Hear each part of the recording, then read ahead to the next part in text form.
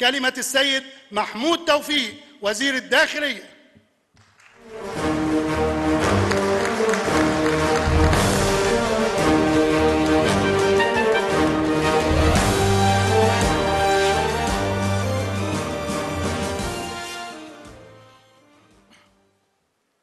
بسم الله الرحمن الرحيم.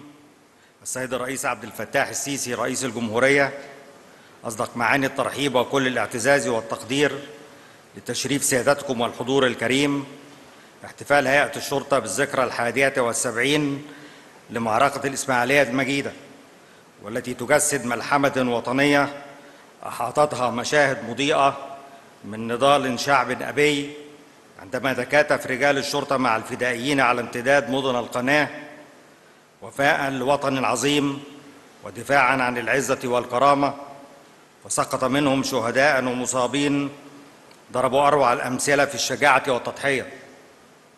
لقد واجهت الشرطة في تلك المرحلة من مراحل النضال الوطني عدوا ظاهر الهوية فتسابقوا بدافع من الانتماء والمسؤولية مع أبناء الشعب لمقاومة المستعمر غير مبالين بقوته التي تفوقهم عددا وعتادا. ويسطر التاريخ للشرطة المصرية دورها الفعال على مر العصور في كل معارك التحرير ومواقف النضال. واليوم وعقب مرور سبعة عقود يؤكد أبناءكم من رجال الشرطة على تحملهم المسؤولية في حماية أمن الوطن. والوقوف بالمرصاد لعدو غير ظاهر يسعى لاستهداف وعي أبناء الوطن وتضليل أفكاره عبر ما يسمى بحروب الجيل الرابع والخامس. السادة الحضور تدرك وزارة الداخلية حجم التحديات التي أفرزها محيط إقليمي ودولي شديد الاضطراب. يموج بالصراعات والتطورات والتوترات التي ألقت بظلالها السلبية على شعوب العالم وانعكست على حياتهم اليومية والاجتماعية. وهنا تنطلق جهود أجهزة الوزارة لتتكامل مع جهود أجهزة الدولة لفرض مظلة الأمن والاستقرار. عبر تحقيق الاستباق الأمني وجودة الأداء الشرطي محاطة بوعي شعبي يساند تلك الجهود معها ويأتي في مقدمة التحديات الأمنية آفة الإرهاب والأفكار المتطرفة ومخططات نشر الشائعات والفوضى حيث يتخذ رجال الشرطة إلى جانب رفقائهم بالقوات المسلحة مواقعهم لإجهاض مساعي التنظيمات الإرهابية ومن يروج لها ويدور في فلكها لاستعادة تماسكها وتوازنها الذي التي فقدته عبر الضربات الأمنية الحاسمة وتكثيف منابع تمويلها. وتعي أجهزة الوزارة ضرورة استمرار اليقظة الأمنية والقراءة الدقيقة لحركة وأنماط الأنشطة الإرهابية والإثارية إقليميا ودوليا واتخاذ الإجراءات الوقائية لمنع امتدادها إلى داخل البلاد. واستكمالا لمنظومة المواجهة الشاملة للإرهاب تتخذ الوزارة العديد من الإجراءات بالتنسيق مع نخبة من علماء الدين والاجتماع لتصحيح أفكار المحكوم عليهم من العناصر الإرهابية. إلى جانب المشاركة في إعداد برامج وفق أسس علمية لحماية المجتمع من المفاهيم المتشددة باعتبارها الحاضن الرئيسي لإفراز الإرهاب. وفي سياق متصل فقد حققت الاستراتيجية الأمنية المعاصرة نقلة النوعية في مواجهة مخاطر الجريمة المنظمة عبر الوطنية بكافة أنماطها ونجحت في توجيه العديد من الضربات الأمنية للبؤر الإجرامية التي تعمل في مجال الهجرة غير الشرعية والإتجار غير المشروع في الأسلحة والذخائر وغسل المتحصلات المالية الناجمة عن تلك الأنشطة.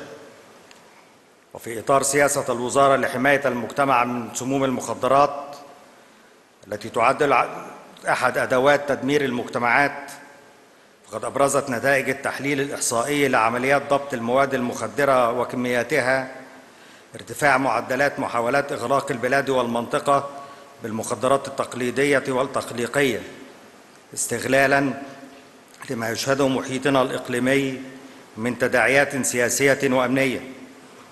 وتحرص أجهزة المكافحة والمعلومات بالوزارة على الرصد المبكر لتلك المحاولات والتصدي لها في مهدها وتوجيه الضربات الأمنية الاستباقية لها والتنسيق الفاعل مع القوات المسلحة لمنع تسربها أو تحويل الأراضي والمنافذ المصرية لمحطة للتهريب لل... لل... إلى الدول الأخرى. هذا ويمتد مسار الجهود الأمنية لتحقيق مفهوم الأمن الشامل إلى مكافحة الجريمة الجنائية بشتى صورها. ويأتي الانخفاض المتميز والمتتالي لمعدلات ارتكاب الجريمة نتاجا للجهود المضنية والأداء المتميز لرجال الشرطة. إلى جانب مساندة شعبية فاعلة وجهود الدولة في القضاء على المناطق السكنية غير الآمنة والتي كانت تشكل بيئة حاضنة لمختلف أشكال الجريمة. وعلى التوازي تحرص الوزارة على التصدي الحاسم للظواهر الإجرامية المستحدثة التي تعتمد على استخدام التكنولوجيا الحديثة عبر تحديث الإمكانيات الفنية والتقنية ومواصلة الارتقاء بالخبرات الوظيفية المتخصصة في مجال مكافحة الجرائم المعلوماتية وكذا التوسع في مقار تلقي بلاغات المواطنين عن مختلف صور تلك الجرائم وفحصها فنيا بأقسام تكنولوجيا المعلومات بكافة مديريات الأمن كما تواصل الأجهزة الأمنية رصد وإجهاض الأنشطة الإجرامية للعصابات الدولية التي تستهدف السوق المصرفي المصري واتخاذ الإجراءات اللازمة لتأمين غطاء أمني للمعاملات المالية للمواطنين. كما اطلعت كما تطلع أجهزة الوزارة بمواصلة تطوير قدراتها وتكثيف جهودها في مجال مكافحة جرائم انتهاك حقوق الملكية الفكرية وذلك انفاذا لدورها الجوهري في تطبيق محاور الاستراتيجية القومية للملكية الفكرية والتي تم إطلاقها بتوجيه رئاسي لتحقيق أقصى حماية لتلك الحقوق وتمكين مؤسسات الدولة من إدارة الحقوق الفكرية المملوكة لها بما يعظم العائد منها. السيدات والسادة اتخذت وزارة الداخلية مبادئ ومعايير حقوق الإنسان اطارا لسياساتها ومهامها الأمنية. ومن بينها تحويل السكونه العمومية إلى مراكز نموذجية للإصلاح والتأهيل. تطبق فيها فلسفة عقابية وإصلاحية حديثة على المحكوم عليهم والتي أثبتت عقب مرور عام على تطبيقها نجاحا نوعيا في مجال تقويم النزلاء سلوكيا ومهنيا. للعودة كعناصر صالحة في المجتمع عقب الإفراج عنهم.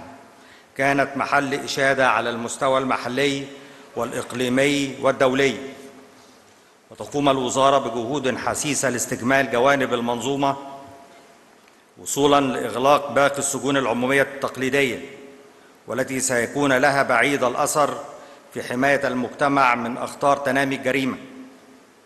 وعلى صعيد آخر تحرص أجهزة الوزارة باعتبارها جزءا من نسيج هذا المجتمع على التوسع في أداء دورها المجتمعي التكافلي لرفع العبء عن كاهل أهلنا من محدودي الدخل وتطوير خدماتها الأمنية للمواطنين واستحداث نظم خدمية لذوي الهمم وكبار السن. إضافة إلى تبني برنامجا طموحا لتاهيل أبنائنا من سكان المناطق الحضرية ليكونوا جيلا جديدا يسهم في بناء بلادهم. وهو من عكس على تعميق التلاحم الإنساني بين الشعب والشرطة. الجمع الكريم تعكس مؤشرات والدلائل نجاح المواجهة الأمنية الفاعلة لتحديات المرحلة الراهنة وتثبيت دعائم الأمن الوقائي والتي ترتكز في سبيل تحقيق ذلك على تخطيط علمي مدروس يعتمد على دقة تحديد الأهداف وترتيب الأولويات وانتهاج أحدث الأساليب العلمية في إدارة العمل الأمني من خلال مواصلة إطلاق طاقات وكفاءات العنصر البشري وتزويده بالخبرات والقدرات الفنية المتطورة بما يحقق الجاهزية لأداء المهام الأمنية والتعامل مع مختلف المواقف والاستجابة السريعة لمتطلبات العمل وتحدياته. كما تحرص المنظومة الأمنية على استكمال كافة المقومات المادية والإمكانيات اللوجستية وإعادة انتشار مواقع المنشآت الشرطية لمواكبة الطفرة الحضرية التي تشهدها البلاد وتأمين المجتمعات العمرانية الجديدة وما تزخر به من مقومات والاستمرار في تحديث قاعدة متكاملة للبيانات والمعلومات والاعتماد على أحدث وسائل التكنولوجيا في مجال العمل الأمني. الإخوة والأبناء أعضاء هيئة الشرطة على امتداد مواقع العمل الأمني. تحية لكم في تلك الذكرى المجيدة. وقد كنتم ولا تزالون بجهودكم وتضحياتكم على قدر المسؤولية الملقاة على عاتقكم في حماية أمن الوطن والمواطن.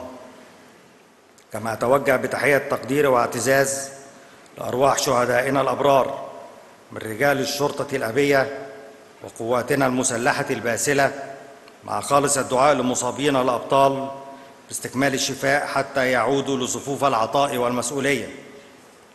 السيد الرئيس بحكمة وشجاعة وصدق تمضي جهودكم الرشيدة في قيادة مسيرة الوطن إعلاء لمصالح الشعب وآماله. وستبقى مصر بإذن الله آمنة مستقرة. يبذل أبناؤها من رجال الشرطة الجهد والدم خلف قيادتكم الحكيمة لحفظ أمن الوطن ومكتسباته وفاء للعهد وولاء للواجب. حفظ الله مصر بكم وأدام عليها أمنها وسدد بالحق كل خطاكم. إنه نعم المولى ونعم النصير. والسلام عليكم ورحمة الله وبركاته.